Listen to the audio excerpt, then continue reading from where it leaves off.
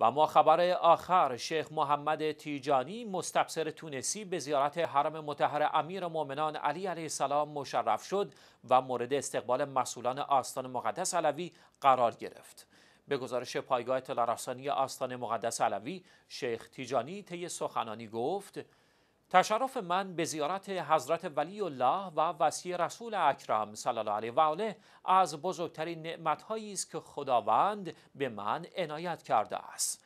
وی همچنین با اشاره به فتوای جهاد کفایی مراجع تقلید شیعه با هدف مقابله با سنی های تندرو تاکید کرد.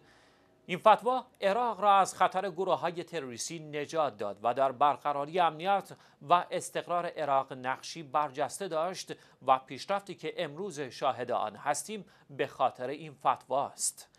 شاین ذکر است محمد تیجانی سماوی اسلام پژوه تونسی و یکی از علمای اهل سنت مالکی مذهب بود که سالهاست به مذهب حقی تشیع مشرف شده است. وی در نجف اشرف به محضر آیت الله العظما خویی و محمد باقر صدر رسید و بعد از مناظره و گفتگو و بررسی های فراوان در سن 24 سالگی شیعه شد. شیخ تیجانی پس از تشرف به تشیع کتابی را با عنوان آنگاه که هدایت شدم تعلیف کرد و مطالبی بسیار در نقد وهابیت نوشت و به اثبات حقانیت شیعه پرداخت.